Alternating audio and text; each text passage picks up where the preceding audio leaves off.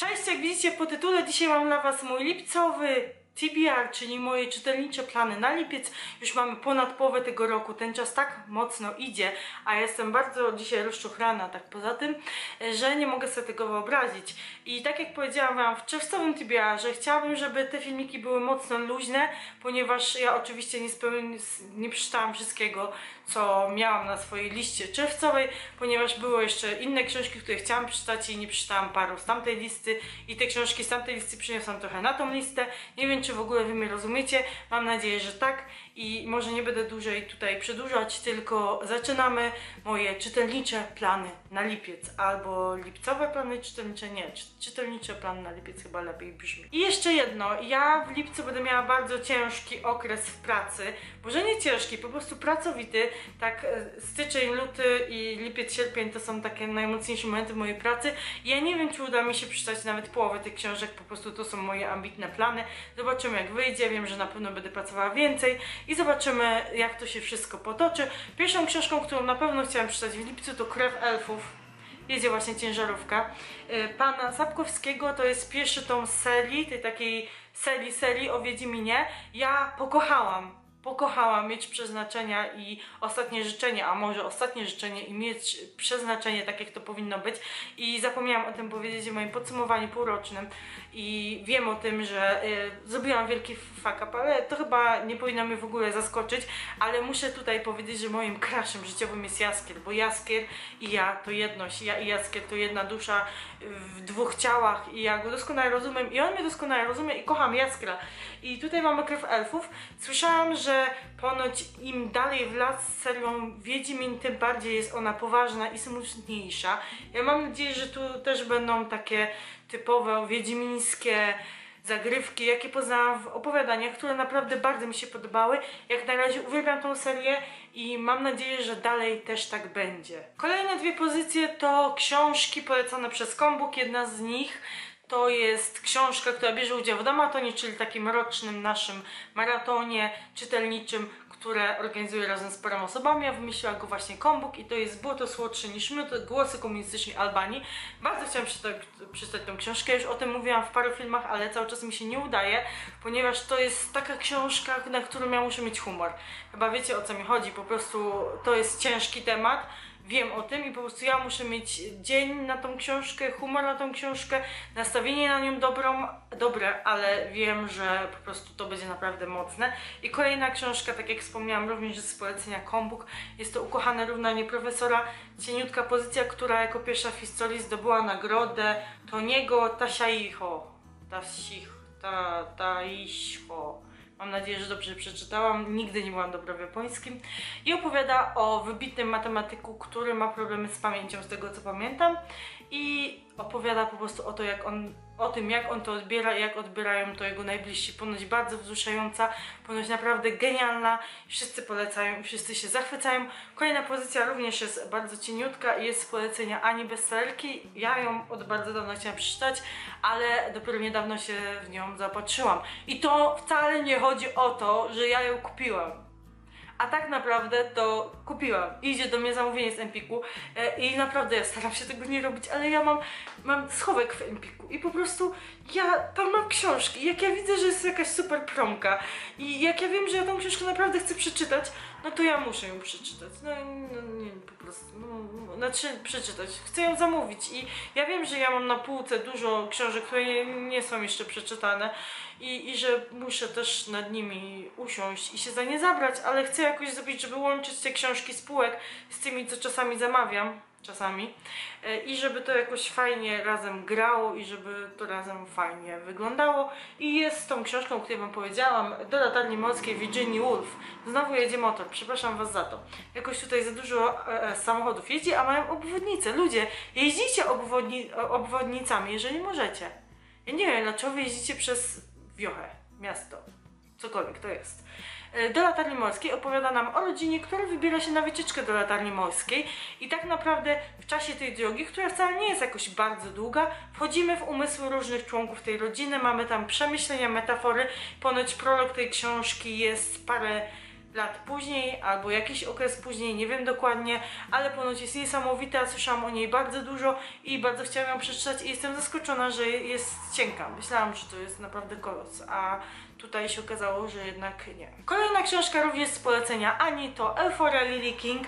E, Ta książka jest rozsławiona na cały świat, a w Polsce nie jest zbytnio rozsławiona. Naprawdę zgarnęła bardzo dużo nagród i opowiada ona o trójce antropologów, którzy e, są antropologami. Wow, u, odkrycie.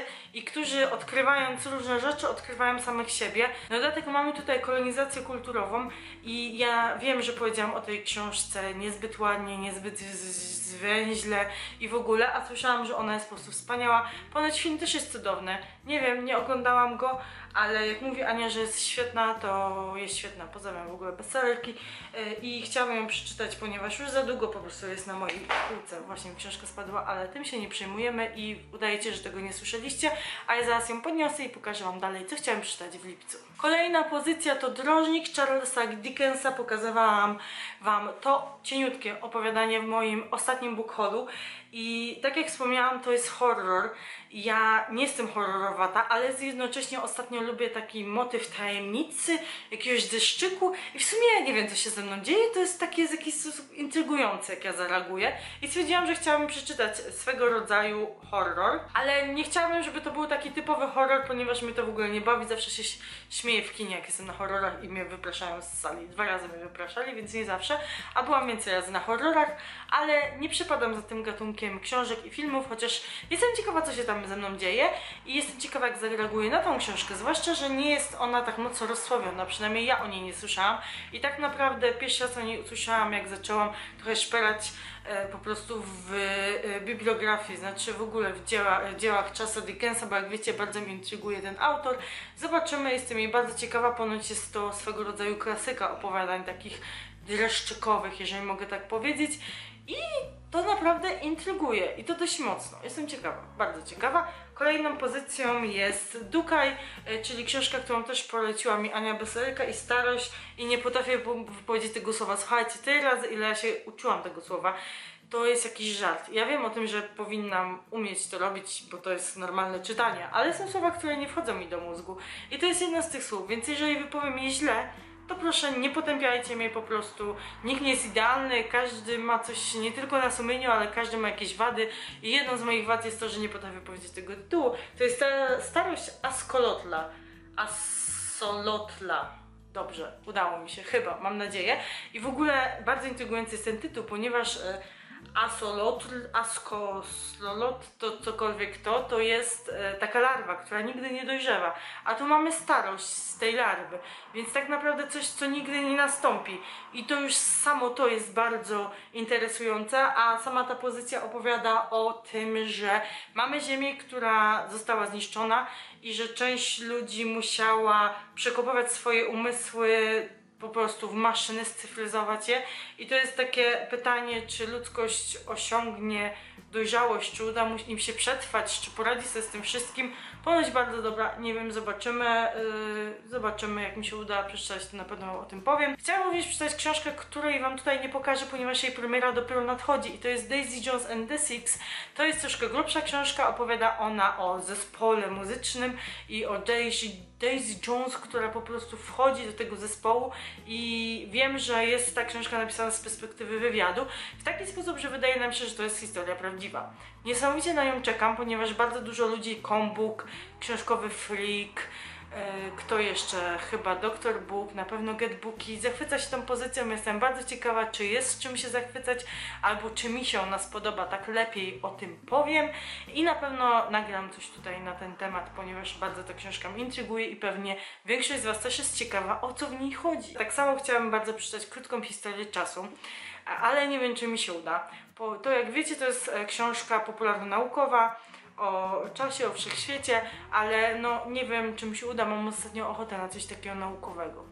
Może dlatego, że teraz są matury, znaczy były matury i jakoś tak poczułam chęć e, poszerzenia swojej wiedzy w jakimkolwiek stopniu. I na koniec zostały książki, których jeszcze nie przeczytałam, a powinnam w czerwcu i to jest Ballada Ptaków i Węży od Susan Collins. Mówiłam już o tej książce bardzo dużo razy, nie tylko ja, ale też bardzo dużo innych osób, bardzo polecam Kombuk.